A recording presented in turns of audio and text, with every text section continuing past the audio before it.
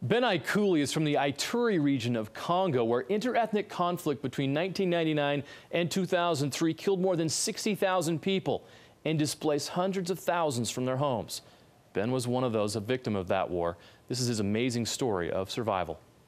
Ben Aikuli has finally found peace, 8,600 miles away from his war torn homeland. When they get angry at each other, they just like um, burn houses and just like kill everybody they could see that wasn't their tribe. Ben is from Bunia, in the Democratic Republic of Congo. When he was five years old, the war became personal. His home was burned down and his family displaced because of the conflict. That's when we started a forest journey. He and his brother fled, hoping to safely reunite with their family. You and your brother are just wandering from town to town, Yeah, asking for shelter and asking for food. yeah. Yeah, that's, that's what we did. We just never stopped going for some reason. We just we were just like going and going. We didn't know where we were gonna stop for sure. They did it for three years, walking 160 miles to a city called Arua in Uganda. That's when we started our refugee life over at Imvepi. We were brought to a little house. It was a little grass house. There were days that we went without anything. That was mainly what we focused on. Was just like, as long as we can sleep here, this is our home. We're good. We registered for that application of um, taking a picture and um, putting our names in the radio, um, spreading the news, to see if they'll find our parents.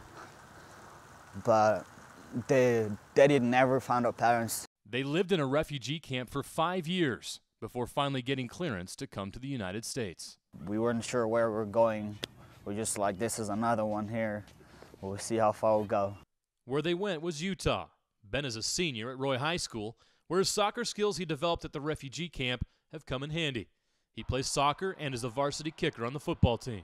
It's a really great thing for me with, with everything I've, I've seen and went through. I think um, with the football team and the school, I, I've had the greatest experience. Last year you had a pretty happy moment. Yeah, Game-winning field goal. yeah. August 30th, 2013. Roy and Weber are tied at 14 with three seconds left.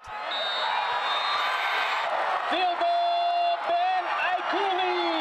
The Royals with the win. I, I just started running because I knew what was going on. I, I knew it was going in, so I was, I was really happy. I, it was probably the greatest thing I've, I've done in, um, here in the U.S. for sure. This would be a great place to end the story, but the story gets even better. He received a phone call from his brother on Mother's Day. You can't believe what I just heard. And he said they did found our parents. And I, I, I said, are you for real?